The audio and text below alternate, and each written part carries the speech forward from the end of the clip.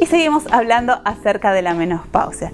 Si bien decimos que es una etapa fundamental y que innecesariamente y que lógicamente la va a atravesar la mujer, por eso tenemos que tener en cuenta algunos alimentos que van a ser fundamentales. Cuando hablamos de todos los alimentos anteriores, que eran las frutas y las verduras por el aporte de vitaminas, de minerales y de fibras, estamos hablando de un mineral que también es muy importante, sobre todo para evitar la osteoporosis postmenopáusica. Estamos hablando de qué cosa? De el calcio.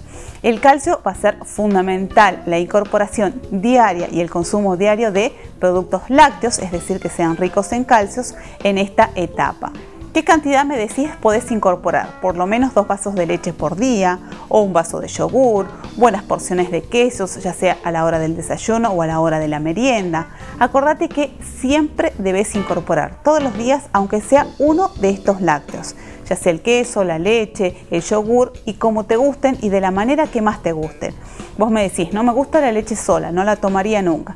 Bueno, entonces empezá a incluirla con un café con leche, con un té me decís, tampoco me gusta en alguna infusión. Entonces empecé a hacerte una eh, salsa blanca, empecé a hacer un licuado, algún postre que tenga eh, leche o algún yogur puede ser también con, gelatina que viene a ser como un postre o el yogur con frutas o el yogur con cereales. Pero busca la forma de poder incorporar estos lácteos para evitar esta osteoporosis, lógicamente que luego lo vas a notar con el pasar de los años con mayor frecuencia, sobre todo en el dolor de los huesos, en el sentirte más cansada y demás.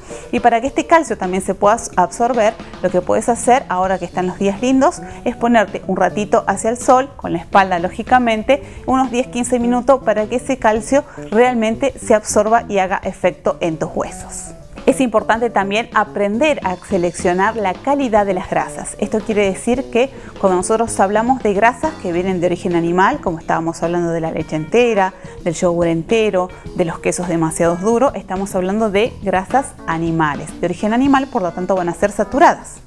Y cuando hablamos de grasas de origen vegetal, estamos hablando de los aceites.